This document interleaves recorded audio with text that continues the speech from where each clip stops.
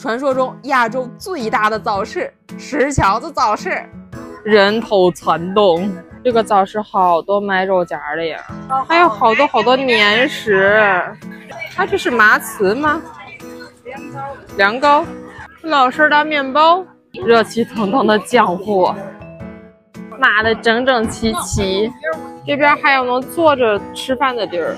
以前来锦州为了吃烧烤，现在来锦州为了逛早市。这是我们刚走过来的路，然后你转过来。这边还有那么多，这不就是美食聚集地吗？这是啥呀？水煎包。水煎包？对。哦，五块钱十一个。饼也是煎的这种金黄金黄的，但那是两头开口的这种。这是摊一锅在切吗？这个玉米饼。北京、天津的朋友们，看到这个面茶不要意外。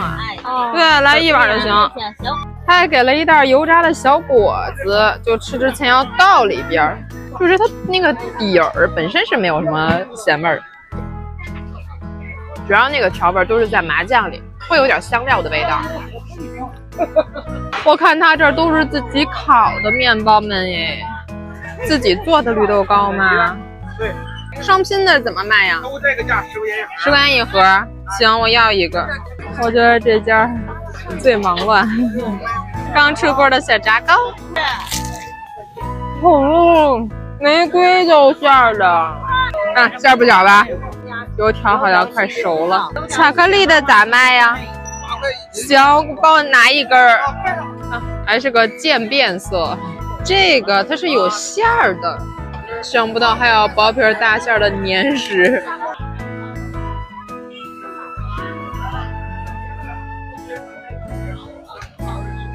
是咯吱咯吱的那种花生糖啊，这个条条的有两种颜色，这个就很像那个驴打滚儿，然后下边这个白色的就长得很像那个条头糕，嗯，很软，但是这个馅儿是真的好多呀。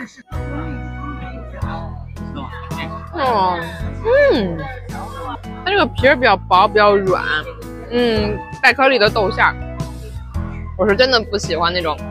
超市里抽真空的那种梗啾啾的那种面食，这个是常见的那种去皮绿豆糕，这个是带豆皮儿的。我看好多人都买这种的，说这个香。嗯，我看现在还有那种现蒸的，就冒着热气儿，我现做的绿豆糕。来听一听。你们最后可以坐在呃炸油条这家吃，他们家豆浆随便喝，哇，好喝，浓，而且还是无糖的。